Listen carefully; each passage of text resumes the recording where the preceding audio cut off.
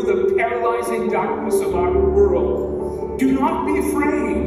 He is risen. Welcome, church family, to Easter 2021, or as we're calling it at the City Center, Easter 21. Welcome to the true